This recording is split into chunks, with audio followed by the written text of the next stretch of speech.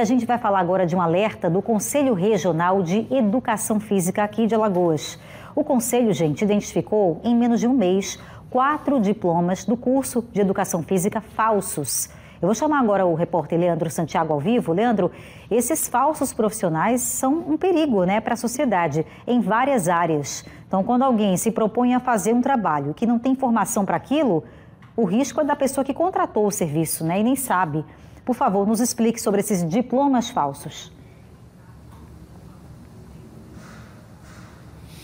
Sem dúvida nenhuma, viu, Bia? Porque afinal de contas a gente está falando de uma área que é ligada à saúde, ao bem-estar. Então, muitas vezes a gente não sabe se aquele profissional é habilitado e se não estiver habilitado, é um risco para aquela pessoa que contrata aquele profissional. Como você falou agora, quatro diplomas falsos em menos de um mês detectados pelo Conselho Regional de Educação Física. E sobre isso a gente vai falar com Antônio Neto, que é diretor executivo do Conselho. Antônio, boa noite, seja bem-vindo. Como é que vocês chegaram a esses diplomas? Diplomas. Boa, boa noite. Boa noite. O Conselho ele faz uma análise bem criteriosa dos processos de análise dos registros das pessoas que vêm buscar o registro junto ao Conselho.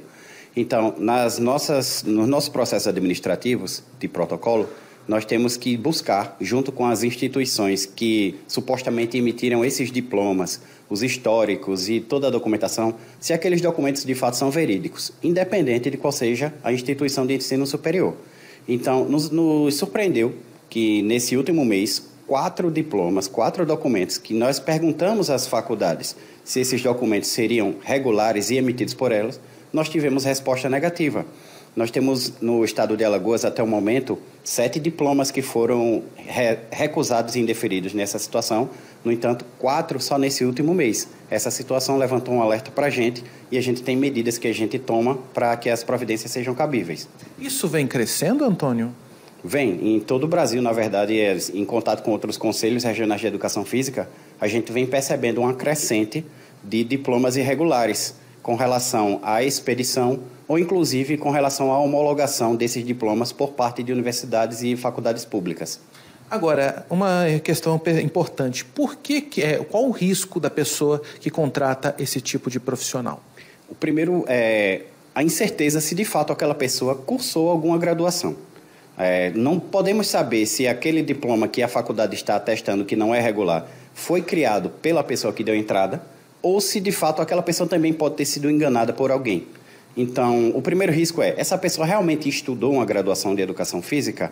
Ela teve, sem análise do Ministério da Educação, as regras das diretrizes curriculares dos cursos de graduação para poder ela estar realmente formada e capacitada? E, posteriormente a isso, como nossa profissão é uma profissão regulamentada, aquele profissional estar legalmente habilitado junto ao Conselho? Sem isso, a pessoa está incorrendo num numa irregularidade de exercício irregular da profissão, que é uma contravenção penal. Então, há um risco para a sociedade pela falta de qualificação comprovadamente. Ou seja, poderemos ser uma pessoa que tem prejuízos para a saúde, né? Isso, né? A gente sabe que a, a, adesão à prática de atividade física ela vem aumentando, cada um com seu objetivo, seja saúde, estética, mas existe o risco iminente e o risco futuro de que a orientação por pessoa que não tem a habilitação profissional possa causar problemas de saúde. Agora, como é que faz para a pessoa saber que aquele profissional é realmente um profissional de educação física? Como nosso conselho é o órgão regulador da profissão, para a gente exercer a profissão, a gente precisa ter uma, um registro profissional, chamada carteira de identidade profissional. No caso dos profissionais de educação física, seja na área da licenciatura para você exercer a profissão em escolas e na área do bacharelado para as demais áreas de atuação.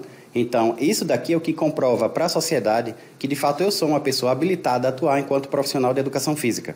Agora, a gente estava conversando antes de entrar no ar, muitas vezes a pessoa até se inscreve em uma faculdade, é, faz o curso de boa fé, imaginando que está tirando um diploma de educação física que é válido. Como é que faz para a pessoa saber se aquele diploma é válido? De fato, a gente tem o site do Ministério da Educação, na plataforma chamada EMEC, em que você consegue lá buscando através do nome da instituição em que você está matriculado e também verificando se o curso de graduação que você está ingressando, ele tem funcionamento na cidade onde você vai estudar sua graduação. O que aconteceu muito e acontece ainda é que se abrem polos em cidades onde não há autorização pelo Ministério da Educação para que essas, essas faculdades funcionem. Logo, esses estudos eles não podem ser, inclusive, nem aproveitados futuramente.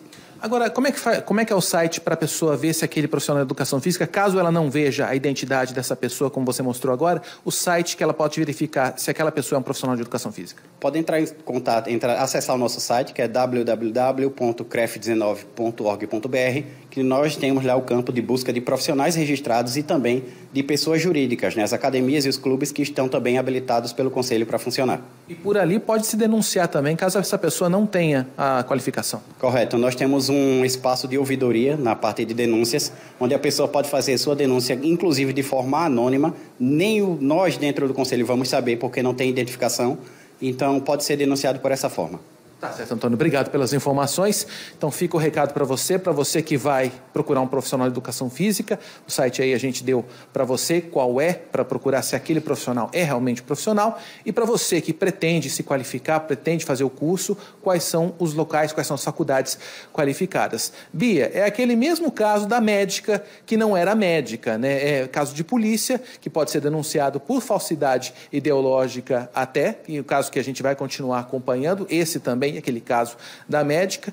Então é importante para você, para você, não você quer, quer ser profissional de educação física, não tente fazer essa falsificação, porque como disse agora o Antônio, o CRE, o Conselho Regional verifica e descobre se realmente aquele diploma é realmente um diploma.